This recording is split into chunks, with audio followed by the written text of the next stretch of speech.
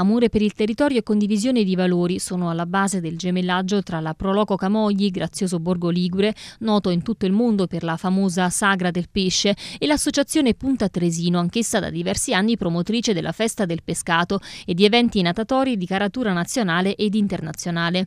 Anche quest'anno, così come accade ormai dal 2016, le delegazioni dei due movimenti associativi prenderanno parte ai rispettivi appuntamenti gastronomici, dando ancora una volta attuazione al rapporto di amicizia e di collaborazione consolidatosi nel tempo. Tutti i dettagli organizzativi sono stati definiti nel corso di un incontro svoltosi durante lo scorso weekend proprio a Castellabate, a cui ha preso parte insieme ai delegati dell'Associazione Punta Tresino il presidente della Proloco Camogli, Tonino Verdina.